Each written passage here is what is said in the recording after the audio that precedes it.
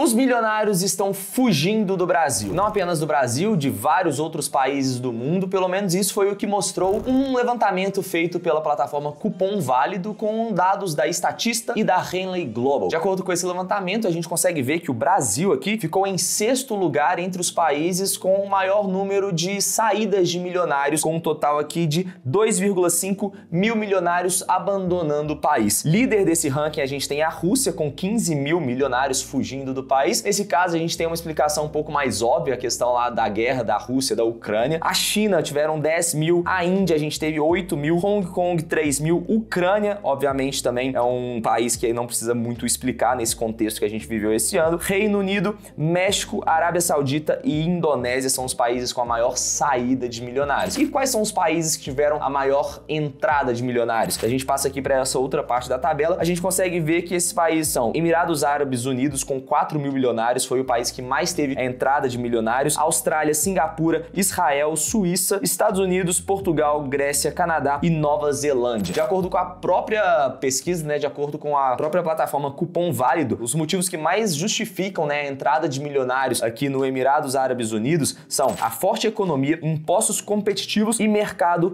crescente em algumas áreas, como por exemplo o setor imobiliário, petrolífero e turístico. E aí, de acordo com a própria pesquisa, abre aspas, as saídas decorrem geralmente pela busca por melhores condições para os negócios, sejam elas econômicas ou em relação à segurança. A gente não vai entrar no aspecto da segurança aqui, porque a gente está no canal de investimentos, de economia, e a gente vai focar nesses aspectos econômicos que explicam um pouco essa saída dos milionários dos países, né? Focar em alguns dados aqui do Brasil. Eu separei aqui uma palavrinha para a gente falar, que é a questão da mobilidade. Isso porque o fluxo de migração de milionários entre os países, né, é um excelente indicador para a gente medir a saúde de uma economia. Como eles têm uma mobilidade muito alta, indivíduos com esse patrimônio, né, acima de um milhão de reais, de dólares, eles conseguem de fato escolher quais são os melhores lugares para morar e também conseguem imigrar com uma facilidade relativamente alta. Então vamos entender aqui um pouco esses aspectos, essas questões que estão praticamente expulsando os milionários aqui do Brasil. Separei aqui alguns gráficos para gente analisar e o primeiro desses está relacionado com a questão de impostos versus a democracia liberal nessa tradução mais ao pé da letra, né? Isso no ano de 2019. O que, que a gente consegue ver nesse gráfico, né? Aqui no eixo X, a gente consegue ver qual que é a quantidade total de impostos que a gente paga em percentual do nosso PIB. Então, quanto mais impostos, maior vai ser o percentual do PIB. E aqui no Brasil, a gente consegue ver que a gente está aqui em 34,44%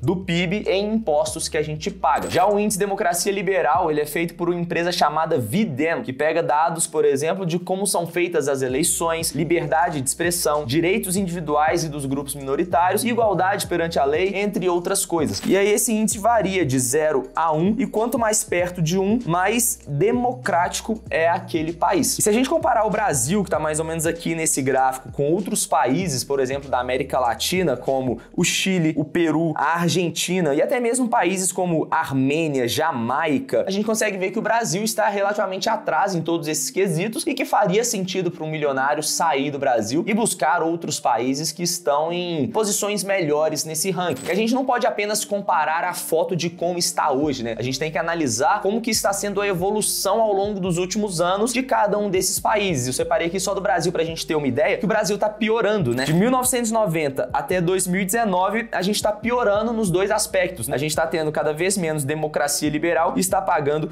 cada vez mais impostos. Ou seja, realmente faz sentido buscar países que estão avançando em relação a esses indicadores. E além de todas essas questões de ter cada vez mais pagamento de impostos, tem um outro fator que está relacionado a isso que está piorando no Brasil também, que é a questão da alta complexidade do sistema tributário brasileiro. Além da gente pagar muitos impostos, o sistema tributário é muito complexo. Se a gente olhar aqui nesse outro gráfico, para abrir uma empresa aqui no Brasil, dependendo do estado que você está, você vai pagar muito mais do que se você estivesse em outro estado. Para você abrir uma empresa aqui no Mato Grosso, você paga quase 10 vezes mais do que você pagaria no Ceará. E se a gente pega aqui a média do Brasil, a gente consegue ver que essa média do Brasil está acima da média dos BRICS e também da OCDE. Então a gente tem muito que avançar nessa questão de tornar empreendedorismo, a liberdade econômica cada vez mais acessíveis para a população. Se é muito caro abrir uma empresa, a gente está inibindo que algumas pessoas consigam fazer isso e, de fato, o empreendedorismo que gera a evolução, o desenvolvimento de um país. E para piorar, depois de você abrir uma empresa, além de você ter todo esse custo para abrir a empresa, você também tem uma burocracia que vai consumir uma quantidade absurda de horas ao longo do ano, simplesmente para você manter a empresa aberta e continuar pagando seus impostos em dia, enfim, toda aquela estrutura dentro da empresa para te permitir estar de acordo com a lei. Porque aqui no Brasil é muito complexo também, né? A média de horas que a gente gasta no ano para a gente cumprir obrigações fiscais aqui no Brasil é de 1.493 horas. Isso é mais do que a média da América Latina, do Caribe, a média dos BRICS e também a média da OCDE. Então a gente tem muito que avançar em relação a esses critérios aqui no Brasil também, para a gente reter esses milionários e incentivar cada vez mais o investimento na economia real, a abertura de empresas, geração de emprego. E aí tem alguns outros dados que na hora que eu fiz a pesquisa aqui para a gente entender um pouco melhor sobre esses critérios, na hora que eu vi esses números,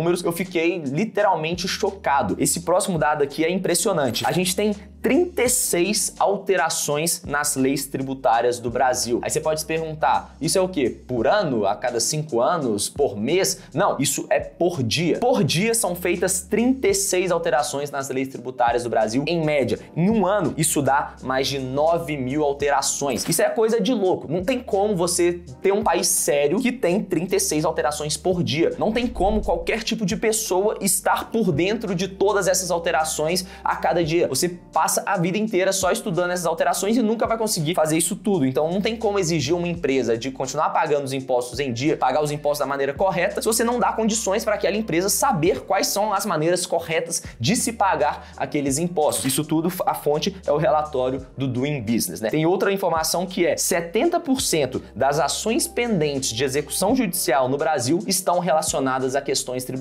Então a gente vê aí todos os tribunais, enfim, toda aquela questão do judiciário do Brasil muito ocupado, sobrecarregado, 70% de todas as ações pendentes estão relacionadas a questões tributárias. Então, o primeiro passo para a gente continuar, primeiro, a reduzir esse tamanho do judiciário, evitar que tenham tantas questões assim, e também até mesmo facilitar para as empresas, talvez seria reduzir a complexidade de todo esse sistema tributário que a gente tem aqui no Brasil. Um exemplo é os grandes países do mundo, os principais países do mundo, utilizam um sistema que é o imposto sobre o valor agregado. Eles pegam o valor agregado daquele produto e cobram um único imposto com a alíquota total ali sobre aquele valor que ele está pagando. Então, quando você entra numa loja, por exemplo, na Europa, nos Estados Unidos, nesses países de primeiro mundo, o que, que você vê? Você vê que o preço de um copo é, por exemplo, 10 dólares e você vê lá, vai pagar 10 dólares, vai pagar X de imposto. Então você vê o tanto que está ficando para a loja, o tanto está ficando para o governo. Tem essa diferenciação, você sabe exatamente quanto que está pagando de imposto e quanto está pagando no produto que você está levando. Aqui no Brasil não. Aqui no Brasil a gente tem uma infinidade de impostos. Na esfera federal a gente tem o IPI, que é o Imposto sobre Produto Industrializado, tem COFINS, tem o PIS. Na esfera estadual tem o ICMS, que varia de estado para estado. Na esfera municipal a gente tem o ISS, que varia de acordo com o município também. Então, primeiro passo para a gente continuar evoluindo com um país é reduzir toda essa complexidade desse sistema tributário que a gente tem aqui no Brasil. E um bom primeiro passo talvez seria ter essa questão do imposto sobre valor agregado, que funciona muito bem em vários